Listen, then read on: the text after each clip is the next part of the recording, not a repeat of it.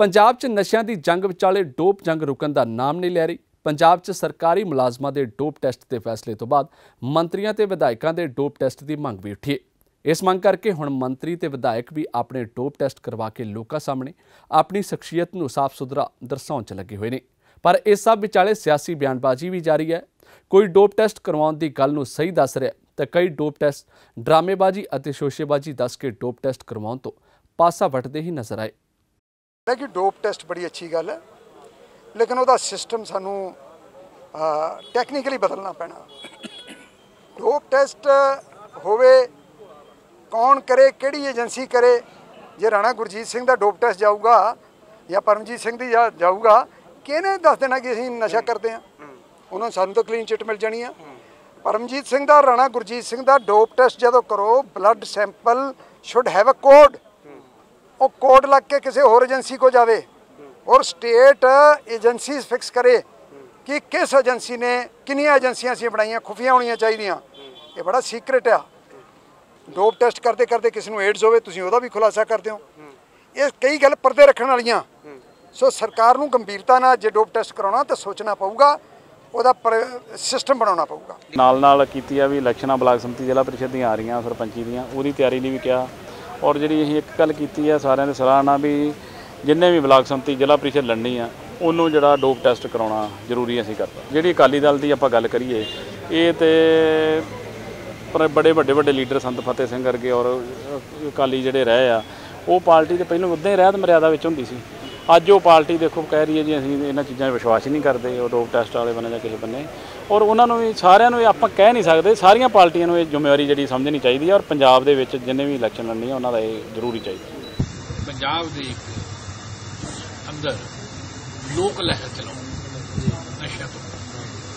ਪੰਜਾਬ ਦਾ ਇਤਿਹਾਸ ਹੈ, ਜਦ ਵੀ ਇੱਥੇ ਕੋਈ ਭੀੜ ਪਈ ਹੈ, ਤਾਂ ਲੋਕ ਲਹਿਰਾਂ ਨੇ ਜਨਮ ਲਿਆ। ਵੱਡੇ ਵੱਡੇ ਲੀਡਰ ਲੋਕ ਲਹਿਰਾਂ ਦੀ ਪਦੈਸ਼ ਰਹੇ ਸੋ ਇਸ ਵੇਲੇ ਬਜਾਏ ਰਾਜਨੀਤੀ ਕਰਨ ਦੇ ਬਜਾਏ ਇੱਕ ਦੂਏ ਦੀ ਨੁਕਤਾਚੀਨੀ ਕਰਨ ਦੇ ਬਜਾਏ ਨੁਕਸ ਕੱਢਣ ਦੇ ਹਰ ਆਦਮੀ ਨੂੰ ਇਹ ਦੱਸਣਾ ਚਾਹੀਦਾ ਵੀ ਇਸ ਜੰਗ 'ਚ ਮੈਂ ਕਿਆ ਯੋਗਦਾਨ ਪਾ ਸਕਦਾ ਬੰਦ ਇਹਦਾ ਕਾਰਨ ਕੋਈ ਹੋਰ ਹੀ ਹੋਏਗਾ। ਨਸ਼ੇ ਦੀ ਵਾਸਤੇ ਰੋਟੀ ਸੇਕੀ ਜਾ ਰਹੀ ਹੈ। ਠੀਕ ਹੈ ਪਹਿਲੇ ਤਾਂ ਅਕਾਲੀ ਦਲ ਨੂੰ ਬਦਨਾਮ ਕੀਤਾ ਗਿਆ ਪੂਰਾ ਨਸ਼ੇ ਦੇ ਬਾਰੇ। ਦੇਖੋ ਨਸ਼ੇ ਦੀ ਜ਼ਿੰਮੇਵਾਰੀ ਸਾਡੀ ਸਾਰਿਆਂ ਦੀ ਬਣਦੀ ਹੈ। ਦੇਖੋ ਮੈਂ ਉਦੋਂ ਹੈਲਥ ਮਿਨਿਸਟਰ ਸੀਗਾ ਮੈਂ ਕਦੇ ਨਹੀਂ ਕਿਹਾ। ਮੈਂ ਨਹੀਂ ਕਿਹਾ ਜਦੋਂ ਇਹ ਗੱਲ ਆਈ ਸੀਗੀ ਲੋਕਾਂ ਨੇ ਕਿਹਾ ਕਿ 90% ਹੈ। ਮੈਂ ਉੱਥੇ ਮਨਾ ਕੀਤਾ ਸੀ ਵੀ ਇਹ ਗੱਲ ਨਹੀਂ ਹੈ। ਇੰਨਾ ਨਗਰ ਨਸ਼ਾ ਹੋਵੇ ਨਾ ਜੀ ਤੇ ਤੁਸੀਂ ਕੋਈ ਕਹਿੰਦਾ 80% ਕਹਿੰਦਾ 60% ਅਗਰ 30% ਵੀ ਹੋਣ ਤਾਂ ਕੰਨਾਂ ਨੂੰ ਕੰਨਾਂ ਨੂੰ ਲੋਕ ਵੱਜਦੇ ਫਿਰਨ। ਇਹਨਾਂ ਨਸ਼ੇ ਸੂਬੇ 'ਚੋਂ ਖਤਮ ਕਰਨੇ ਆ ਤਾਂ ਕੈਪਟਨ ਸਾਹਿਬ ਨੂੰ ਪਹਿਲ ਕਰਨੀ ਪਏਗੀ, ਸਾਰੀਆਂ ਰਾਜਸੀ ਪਾਰਟੀਆਂ ਨੂੰ ਧੜੇਬੰਦੀ ਤੋਂ ਉੱਪਰ ਉੱਠ ਕੇ ਔਰ ਸਮਾਜ ਨੂੰ ਨਾਲ ਜੋੜ ਕੇ ਐਨਜੀਓ ਦਾ ਸਹਿਯੋਗ ਲੈ ਕੇ ਇੱਕ ਅਵੇਅਰਨੈਸ ਕੈਂਪੇਨ ਚਲਾਉਣੀ ਪਏਗੀ। ਨੌਜਵਾਨਾਂ ਨੂੰ ਸੰਸਕਾਰ ਸਿਖਾਉਣੇ ਪੈਣਗੇ। ਨੌਜਵਾਨਾਂ ਨੂੰ ਉਸਾਰੂ ਰੁਚੀਆਂ ਵੱਲ ਲਾਉਣ ਲਈ ਕੋਈ ਮੈਕੈਨਿਜ਼ਮ ਤਿਆਰ ਕਰਨਾ ਪਏਗਾ। ਇਹ ਨਹੀਂ ਹੈ ਵੀ ਸੈਂਟਰ ਨੂੰ ਲਿਖਤਾ ਫਾਂਸੀ ਦੀ ਸਜ਼ਾ ਉਹਦੇ ਨਾਲ ਨਸ਼ੇ ਖਤਮ ਹੋ ਜਾਣਗੇ। ਜਾਂ 10 20 ਲੀਡਰਾਂ ਦੇ ਡੋਪ ਟੈਸਟ ਕਰਨਾ ਨਸ਼ੇ ਖਤਮ ਹੋ ਜਾਣਗੇ। ਇਹ ਸਿਰਫ ਤੇ ਸਿਰਫ ਡਰਾਮੇਬਾਜ਼ੀ, ਸ਼ੋਸ਼ੇਬਾਜ਼ੀ ਹੁਣ ਖਤਮ ਕਰਨ ਦਾ ਸਮਾਂ ਆ ਗਿਆ। ਹੁਣ ਜੋ ਤੁਸੀਂ ਦਵਾਈਆਂ ਖਰੀਦੋਗੇ ਜਾਂ ਵੇਚੋਗੇ, ਉਸ ਤੇ ਸਰਕਾਰ ਦੀ ਤਿੱਖੀ ਨਜ਼ਰ ਰਹੇਗੀ।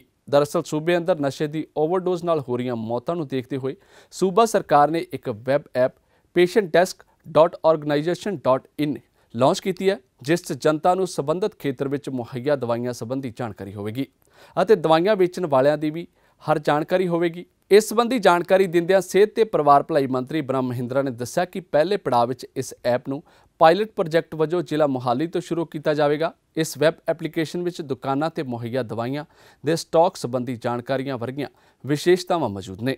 ਹੁਣ ਕੋਈ ਵੀ Google Play Store ਤੇ ਮੌਜੂਦ Android ਐਪ ਵਿੱਚ ਜਾ ਕੇ PB ਕੈਮਿਸਟ ਤਹਿਤ ਲੌਗਇਨ ਕਰ ਸਕਦਾ ਹੈ ਅਤੇ ਮਹਿਜ ਇੱਕ ਬਟਨ ਦਬਾਉਣ ਨਾਲ ਡਾਕਟਰ ਦੀ ਸੁਝਾਈ ਦਵਾਈ ਸੰਬੰਧੀ ਜਾਣਕਾਰੀ ਬੜੇ ਹੀ ਸਰਲ ਤਰੀਕੇ ਨਾਲ ਹਾਸਲ ਹੋਵੇਗੀ।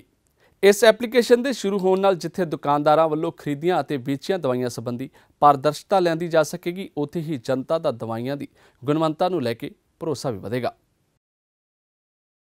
ਬਰਗਾੜੀ 'ਚ ਸ੍ਰੀ ਗੁਰੂ ਗ੍ਰੰਥ ਸਾਹਿਬ ਦੀ ਬੇਅਦਬੀ ਦੇ ਦੋਸ਼ੀਆਂ ਨੂੰ ਸਜ਼ਾ ਦਿਵਾਉਣ ਤੇ ਜੇਲ੍ਹਾਂ 'ਚ ਆਪਣੀ ਸਜ਼ਾ ਪੂਰੀ ਕਰ ਚੁੱਕੇ ਸਿੱਖ ਕੈਦੀਆਂ ਦੀ ਰਿਹਾਈ ਲਈ ਮੋਰਚਾ ਲਾ ਕੇ ਬੈਠੇ ਸਿੰਘਾਂ ਨੂੰ ਮਿਲਣ ਕੈਬਨਿਟ ਮੰਤਰੀ ਤ੍ਰਿਪਤ ਰਜਿੰਦਰ ਬਾਜਵਾ ਪਹੁੰਚੇ। ਕੈਬਨਿਟ ਮੰਤਰੀ ਨੇ ਇਸ ਮੌਕੇ ਮੋਰਚੇ 'ਚ ਆਪਣੀ ਹਾਜ਼ਰੀ ਲਗਵਾਈ ਤੇ ਸ੍ਰੀ ਅਕਾਲ ਤਖਤ ਸਾਹਿਬ ਦੇ ਮਤਵਾਜੀ ਜਥੇਦਾਰ ਭਾਈ ਧਿਆਨ ਸਿੰਘ ਮੰਡ ਨਾਲ ਮੁਲਾਕਾਤ ਕੀਤੀ। ਮੁਲਾਕਾਤ ਤੋਂ ਬਾਅਦ ਬਾਜਵਾ ਨੇ ਕਿਹਾ ਕਿ ਕੈਪਟਨ ਅਮਰਿੰਦਰ ਸਿੰਘ ਨੇ ਉਹਨਾਂ ਨੂੰ ਇੱਥੇ ਹਾਜ਼ਰੀ ਲਗਾਉਣ ਲਈ ਕਿਹਾ ਸੀ ਤੇ ਜਥੇਦਾਰ ਸਾਹਿਬ ਨੇ ਜੋ ਮੰਗਾਂ ਦੱਸੀਆਂ ਨੇ, ਉਹ ਕੈਪਟਨ ਅਮਰਿੰਦਰ ਸਿੰਘ ਤੱਕ ਪਹੁੰਚਾਉਣਗੇ। ਜ਼ਿਕਰ ਹੈ ਕਿ ਆਪਣੀਆਂ ਮੰਗਾਂ ਨੂੰ ਲੈ ਕੇ ਸਿੱਖ ਸੰਗਤ ਵੱਲੋਂ ਬਰਗਾੜੀ ਵਿਖੇ ਮੋਰਚਾ ਲਗਾਇਆ ਗਿਆ, ਜਿਸ ਨੂੰ ਸਵਾ ਮਹੀਨੇ ਤੋਂ ਵੀ ਵੱਧ ਸਮਾਂ ਬੀਤ ਚੁੱਕਾ ਹੈ, ਪਰ ਹਾਲੇ ਤੱਕ ਸਰਕਾਰ ਨਾਲ ਸਹਿਮਤੀ ਨਹੀਂ ਬਣ ਸਕੀ ਹੈ। ਮੈਨੂੰ ਕੈਪਟਨ ਸਾਹਿਬ ਨੇ ਬਰਗਾੜੀ ਜਿਹੜੇ ਸਿੰਘ ਸਾਹਿਬ ਧਰਨੇ ਤੇ ਬੈਠੇ, ਉਹਨਾਂ ਨਾਲ ਗੱਲਬਾਤ ਕਰਨ ਲਈ ਭੇਜਿਆ ਸੀ। ਮੇਰੀ ਸਿੰਘ ਸਾਹਿਬਾਨ ਦਾ ਜਿਹੜਾ ਵੀ ਪੰਜ ਛੇ ਰਿਪਰੈਜ਼ੈਂਟੇਟਿਵ ਸਨ, ਉਹਨਾਂ ਨਾਲ ਇੱਕ ਘੰਟਾ ਗੱਲਬਾਤ ਹੋਈ। ਉਹਨਾਂ ਦੇ ਸਾਰੇ ਵਿਚਾਰ ਸੁਣੇ। ਫਿਰ ਜਹੇਦਾਰ ਜੀ, ਅਕਾਲ ਤਖਤ, ਜਹੇਦਾਰ ਮੰਡ ਸਾਹਿਬ ਨਾਲ ਉਹਨਾਂ ਦੀ ਗੱਡੀ 'ਚ ਬਹਿ ਕੇ 10-15 ਮਿੰਟ ਵੱਖਰਿਆਂ ਗੱਲ ਹੋਈ। ਉਹਨਾਂ ਦੀਆਂ ਸਾਰੀਆਂ ਗੱਲਾਂ ਜਿਹੜੀਆਂ ਨੇ, ਜੋ ਉਹਨਾਂ ਦੀ ਮੰਗਾਂ ਨੇ, ਮੈਂ ਕੈਪਟਨ ਸਾਹਿਬ ਤੱਕ ਕੱਲ ਪਹੁੰਚਾ ਦਿਆਂਗਾ। ਤੇ ਉਸ ਤੋਂ ਪਿੱਛੋਂ ਜੋ ਕੈਪਟਨ ਸਾਹਿਬ ਫੈਸਲਾ ਲੈਣਗੇ, ਉਹ ਸਿੰਘ ਸਾਹਿਬ ਨੂੰ ਪਹੁੰਚਾ ਦਿੱਤਾ। ਅਫਗਾਨਿਸਤਾਨ 'ਚ ਸਿੱਖਾਂ ਅਤੇ ਹਿੰਦੂਆਂ ਤੇ ਹੋਏ ਹਮਲੇ 'ਚ ਜ਼ਖਮੀ ਇਕਬਾਲ ਸਿੰਘ ਦਿੱਲੀ ਦੇ ਏਮਜ਼ ਹਸਪਤਾਲ 'ਚ ਜੇਰੇ ਇਲਾਜ ਨੇ। ਜਿਸ ਸੰਬੰਧੀ ਵਿਦੇਸ਼ ਮੰਤਰੀ ਸੁਸ਼ਮਾ ਸਵਰਾਜ ਨੇ ਟਵੀਟ ਤੇ ਜਾਣਕਾਰੀ ਦਿੱਤੀ। ਉਹਨਾਂ ਕਿਹਾ ਕਿ ਇਕਬਾਲ ਸਿੰਘ ਦੀ ਹਾਲਤ ਅੱਗੇ ਨਾਲੋਂ ਕਾਫੀ ਸੁਧਰੀ ਹੈ ਤੇ ਉਹਨਾਂ ਨੂੰ ਅਗਲੇ ਹਫ਼ਤੇ ਤੱਕ ਹਸਪਤਾਲ ਤੋਂ ਛੁੱਟੀ ਮਿਲ ਜਾਏਗੀ। ਨਾਲ ਹੀ ਸੁਸ਼ਮਾ ਨੇ ਕਿਹਾ ਕਿ ਅਸੀਂ ਉਹਨਾਂ ਨੂੰ ਹਰ ਸਹਾਇਤਾ ਮੁਹੱਈਆ ਕਰਵਾਵਾਂਗੇ। ਜ਼ਿਕਰਯੋਗ ਹੈ ਕਿ ਅਫਗਾਨਿਸਤਾਨ ਦੇ ਪੂਰਬੀ ਹਿੱਸੇ ਜਲਾਲਾਬਾਦ 'ਚ ਹੋਏ ਆਤਮਕਾਤੀ ਹਮਲੇ 'ਚ 19 ਲੋਕਾਂ ਦੀ ਮੌਤ ਹੋ ਗਈ ਸੀ, ਜਦਕਿ 20 ਜਣੇ ਜ਼ਖਮੀ ਹੋਏ ਸਨ। ਮ੍ਰਿਤਕਾਂ 'ਚ ਵੱਡੀ ਗਿਣਤੀ ਸਿੱਖਾਂ ਦੀ ਸੀ। ਰੋਪੜ ਤੋਂ ਆਪ ਵਿਧਾਇਕ ਸੰਦੋਆ ਨਾਲ ਹੋਈ ਕੁੱਟਮਾਰ ਦਾ ਮਾਮਲਾ ਇੱਕ ਵਾਰ ਫਿਰ ਸੁਰਖੀਆਂ 'ਚ ਹੈ। ਵਿਧਾਇਕ ਨਾਲ ਕੁੱਟਮਾਰ ਕਰਨ ਦੇ ਇਲਜ਼ਾਮਾਂ ਦਾ ਸਾਹਮਣਾ ਕਰ ਰਹੇ ਮੁਲਜ਼ਮ ਦਾ ਪਰਿਵਾਰ ਹੁਣ ਸਾਹਮਣੇ ਆਇਆ ਪਰਿਵਾਰ ਨੇ ਵਿਰੋਧੀ ਧਿਰ ਤੇ ਕ੍ਰਾਸ ਪਰਚਾ ਦਰਜ ਕਰਨ ਦੇ ਨਾਲ-ਨਾਲ ਅਜਵਿੰਦਰ ਤੋਂ ਧਾਰਾ 307 ਹਟਵਾਉਣ ਦੀ ਅਪੀਲ ਕੀਤੀ ਹੈ। ਰੋਪੜ ਤੋਂ ਆਮ ਆਦਮੀ ਪਾਰਟੀ ਦੇ ਵਿਧਾਇਕ ਅਮਰਜੀਤ ਸਿੰਘ ਸੰਧੂਆ ਦੇ ਨਾਲ ਹੋਈ ਕੁੱਟਮਾਰ ਦਾ ਮਾਮਲਾ ਇੱਕ ਵਾਰ ਫਿਰ ਗਰਮਾਇਆ ਹੈ। ਵਿਧਾਇਕ ਨਾਲ ਕੁੱਟਮਾਰ ਕਰਨ ਵਾਲੇ ਮੁੱਖ ਮੁਲਜ਼ਮ ਦਾ ਪਰਿਵਾਰ ਹੁਣ ਵਿਧਾਇਕ ਤੇ ਹੀ ਪਰਚਾ ਕਰਨ ਦੀ ਮੰਗ ਕਰ ਰਿਹਾ ਹੈ। ਜਿਸ ਲਈ ਉਹਨਾਂ ਬਕਾਇਦਾ ਸ਼ਿਕਾਇਤ ਵੀ ਦਰਜ ਕਰਵਾ ਦਿੱਤੀ ਹੈ। ਪਰਿਵਾਰ ਦੀ ਮੰਗ ਹੈ ਕਿ ਇਸ ਝਗੜੇ 'ਚ ਅਜਵਿੰਦਰ ਸਿੰਘ ਦੀ ਵੀ ਪੱਗ ਉਤਾਰੀ ਗਈ ਸੀ, ਜਿਸ ਲਈ ਵਿਰੋਧੀ ਧਿਰ ਤੇ ਬਰਾਬਰ ਦਾ ਪਰਚਾ ਦਰਜ ਕੀਤਾ ਜਾਵੇ ਅਤੇ ਅਜਵਿੰਦਰ ਸਿੰਘ ਖਿਲਾਫ ਲਾਈ ਗਈ ਧਾਰਾ 307 ਨੂੰ ਵੀ ਹਟਾਇਆ ਜਾਵੇ। ਐਪਲੀਕੇਸ਼ਨ ਇਹ ਦਿੱਤੀ ਗਈ ਜੀ ਵੀ ਜਿਹੜੀ ਲੜਾਈ ਹੋਈ ਹੈ ਜੀ, ਦੋਨਾਂ ਪਾਸਿਆਂ ਦੀ ਲੜਾਈ ਹੈ ਇਹ। ਜਿਹੜਾ ਹੁਣ ਇਹ ਪਰਚਾ ਕੱਟਿਆ, ਇਹ ਇੱਕ ਪਾਸੇ ਦੀ ਕੱਟਿਆ ਜੀ। ਇਹ ਪ੍ਰਸ਼ਾਸਨ ਨੇ, ਪੁਲਿਸ ਪੁਲਿਸ ਵਾਲਿਆਂ ਨੇ ਕੋਈ ਇਹ ਨਹੀਂ ਕੀਤਾ ਵੀ ਪੱਗ ਤਾਂ ਅਜਵਿੰਦਰ ਸਿੰਘ ਦੀ ਵੀ ਲਈ ਹੈ ਸੰਦੋਏ ਦੀ ਵੀ ਲਈ ਹੈ ਜੀ। ਪਰ ਪਰਚਾ ਇੱਕ ਤਰਫਾ ਕੱਟਿਆ ਗਿਆ ਹੈ। ਅਸੀਂ ਹੁਣ ਸਰਕਾਰ ਤੋਂ ਮੰਗ ਕਰਦੇ ਆ ਇਹ ਵੀ ਜਿਹੜੀ ਅਜਵਿੰਦਰ ਸਿੰਘ ਦੀ ਪੱਗ ਵੀ ਲਈ ਹੈ ਸੰਦੋਏ ਦੀ ਪੱਗ ਵੀ ਲਈ ਹੈ, ਉਹਨਾਂ ਦਾ ਪਰਚਾ ਕੱਟੇਗਾ ਅਜਵਿੰਦਰ ਸਿੰਘ ਦਾ ਵੀ ਪਰਚਾ ਕੱਟਿਆ ਜਾਵੇ, ਸਾਡਾ ਪਰਚਾ ਬਰਾਬਰ ਕੱਟਿਆ ਜਾਵੇ। ਜੀ ਅਸੀਂ ਐਸਐਸਪੀ ਸਾਹਿਬ ਤੋਂ ਮੰਗ ਕਰਦੇ ਹਾਂ ਕਿ ਅਸੀਂ 307 ਜਿਹੜੀ ਲੱਗੀ ਹੈ, ਉਹ ਧਾਰਾ ਟੁੱਟਣੀ ਚਾਹੀਦੀ ਹੈ, ਕੋਈ ਹਥਿਆਰ ਨਹੀਂ ਚੱਲਿਆ। ਤੇ ਇਹਨਾਂ ਦੀ ਪੱਗ ਵੀ ਲਈ ਹੈ ਮੇਰੇ ਹਸਬੰਡ ਦੀ ਤੇ ਸੰਦੋਖ ਸਾਹਿਬ ਦੀ ਵੀ ਲਈ ਹੈ। ਜੋ ਉਹਨਾਂ ਨੇ ਪਰਚਾ ਕੱਟਿਆ ਹੈ, ਉਹਨਾਂ ਨੇ ਇੱਕ ਤਰਫਾ ਕੱਟਿਆ। ਇਹ ਸਰ ਅਸੀਂ ਐਪਲੀਕੇਸ਼ਨ ਐਸਐਸਪੀ ਸਾਹਿਬ ਕੋ ਪੇਸ਼ ਹੋ ਕੇ ਦੇ ਕੇ ਆਏ ਸਰ। ਇੱਥੇ ਸਰ ਪੁਲਿਸ ਪ੍ਰਸ਼ਾਸਨ ਸਾਡਾ ਕੋਈ ਵੀ ਸੁਣਵਾਈ ਨਹੀਂ ਕਰ ਰਿਹਾ ਸਰ। ਤੇ ਅਸੀਂ ਇਹ ਜਿਹੜੀ ਲੜਾਈ ਹੋਈ ਸੀਗੀ 21 ਜੂਨ ਨੂੰ ਐਮਐਲਏ ਸੰਦੋਆ ਸਾਡੇ ਕੰਮ ਵਿੱਚ ਵਿਘਨ ਪਾਉਣ ਵਾਸਤੇ ਸਾਤੋਂ ਰਿਸ਼ਵਤ ਲੈਣ ਦੀ ਖਾਤਰ ਜਦ ਕਿ ਉਹ ਸਾਡਾ ਜਿੱਥੇ ਕੰਮ ਚੱਲਦਾ ਸੀਗਾ ਪ੍ਰੋਜੈਕਟ ਮੈਨਿੰਗ ਪ੍ਰੋਜੈਕਟ ਉੱਥੇ ਪਹੁੰਚ ਗਏ ਸਰ। ਉੱਥੇ ਜਾ ਕੇ ਸਾਡੇ ਬ੍ਰਦਰ ਅਜਵਿੰਦਰ ਸਿੰਘ ਮਨਜੀਤ ਸਿੰਘ ਇਹਨਾਂ ਨਾਲ ਧੱਕਾ ਮੁੱਕੀ ਕੀਤੀ। ਇਸ ਮਾਮਲੇ ਤੇ ਪੁਲਿਸ ਦਾ ਕਹਿਣਾ ਹੈ ਕਿ ਉਹਨਾਂ ਨੂੰ ਸ਼ਿਕਾਇਤ ਮਿਲੀ ਹੈ ਤੇ ਮਾਮਲੇ ਦੀ ਜਾਂਚ ਤੋਂ ਬਾਅਦ ਜੋ ਸਾਹਮਣੇ ਆਏਗਾ ਉਸ ਮੁਤਾਬਿਕ ਕਾਰਵਾਈ ਕੀਤੀ ਜਾਏਗੀ। ਸਜਵਿੰਦਰ ਦੀ ਵਾਈਫ ਨੇ ਕੰਪਲੇਂਟ ਦਿੱਤੀ ਹੈ ਕਿ ਕ੍ਰਾਸ ਕੇਸ ਹੋਣਾ ਚਾਹੀਦਾ ਹੈ ਤੇ ਜਿਹੜਾ 307 ਦੀ ਜਿਹੜੀ ਧਾਰਾ ਹੈ ਉਹਨੂੰ ਤੋੜਨਾ ਚਾਹੀਦਾ ਹੈ। ਹੋਰ ਵੀ ਇੱਕ ਦੋ ਗੱਲਾਂ ਉਹਨਾਂ ਨੇ ਅਲੈਜ ਕੀਤੀਆਂ ਨੇ।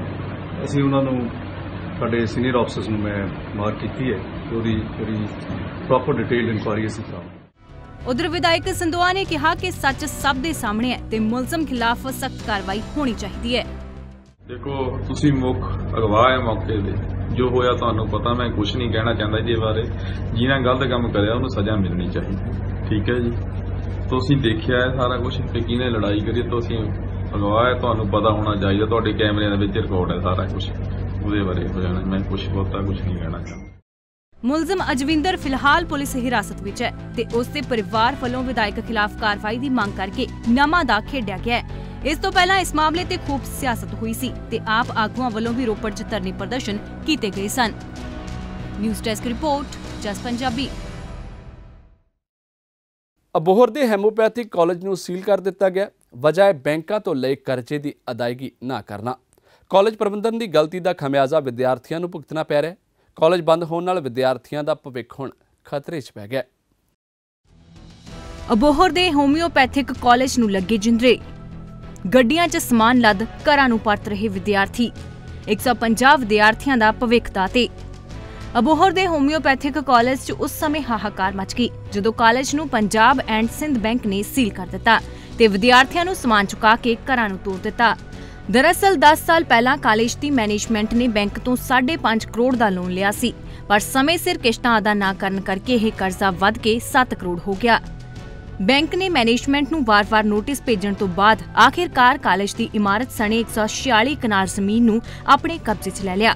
ਇਮਤਿਹਾਨ ਨਜ਼ਦੀਕ ਆਉਣ ਕਾਰਨ ਕਾਲਜ ਵਿੱਚ ਪੜ੍ਹਦੇ 150 ਵਿਦਿਆਰਥੀਆਂ ਨੂੰ ਆਪਣੇ ਭਵਿੱਖ ਦੀ ਚਿੰਤਾ ਸਤਾ ਰਹੀ ਹੈ ਤੇ ਉਹ ਮੈਨੇਜਮੈਂਟ ਖਿਲਾਫ ਰੋਸ ਜ਼ਾਹਿਰ ਕਰ ਰਹੇ ਨੇ। ਹਰ ਸਟੇਟ ਦਾ ਕੋਈ ਨਾ ਕੋਈ ਬੱਚਾ ਇੱਥੇ ਪੜ ਰਿਹਾ ਠੀਕ ਹੈ?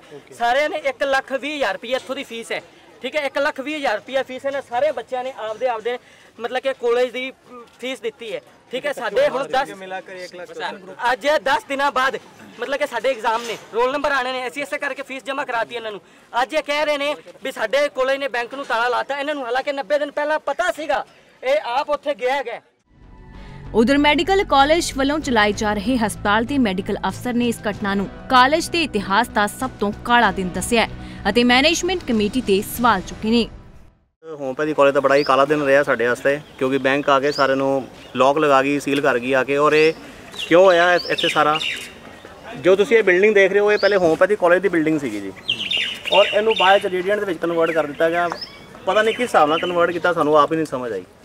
ਕਾਲਜ ਬੰਦ ਹੋਣ ਨਾਲ ਵਿਦਿਆਰਥੀਆਂ ਵਿੱਚ ਕਾਫੀ ਗੁੱਸਾ ਹੈ। ਅਜਿਹੇ 'ਚ ਸੁਰੱਖਿਆ ਦੇ ਮੱਦੇਨਜ਼ਰ ਭਾਰੀ ਪੁਲਿਸ ਬਲ ਨੂੰ ਤਾਇਨਾਤ ਕੀਤਾ ਗਿਆ ਹੈ।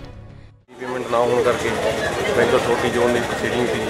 ਆਪਣੀ ਪ੍ਰੋਸੀਡਿੰਗ ਦੇ ਤਹਿਤ ਆਪਣੇ ਕਬਜ਼ਾ ਲੈ ਰਹੇ ਹਾਂ ਔਰ ਸੀਲ ਕਰ ਰਹੇ ਹਾਂ। ਇੱਥੇ ਪੁਲਿਸ ਆਉਣ ਦਾ ਪਰਪਸ ਅਸੀਂ ਬਤੌਰ ਸਿਕਿਉਰਿਟੀ ਆਏ ਹਾਂ ਲਾਅ ਐਂਡ ਆਰਡਰ ਨੂੰ ਮੇਨਟੇਨ ਕਰਨ ਓਕੇ ਸਰ ਬੈਂਕ ਤੇ ਕਾਲਜ ਦੇ ਆਪਸੀ ਮਸਲੇ ਕਾਰਨ ਵੱਖ-ਵੱਖ ਸੂਬਿਆਂ ਤੋਂ ਆ ਕੇ ਕਾਲਜ 'ਚ ਪੜ ਰਹੇ। 150 ਵਿਦਿਆਰਥੀਆਂ ਦਾ ਭਵਿੱਖ ਖਤਰੇ 'ਚ ਪੈ ਗਿਆ ਹੈ।